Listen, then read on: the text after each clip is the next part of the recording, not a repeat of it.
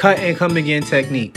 This is the process of harvesting older or lower leaves so the center of the plant can keep producing new ones. It helps with more harvest by delaying leafy vegetables from bolting too fast where they stop producing leaves and start focusing their energy on flower production. Many greens can be harvested young and are very tender, like the turnip greens I'm harvesting today.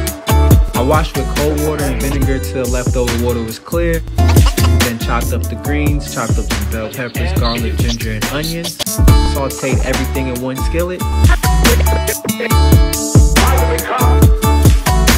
And added some soy sauce. And this is how I'm enjoying my harvest. Hope you enjoy yours as well.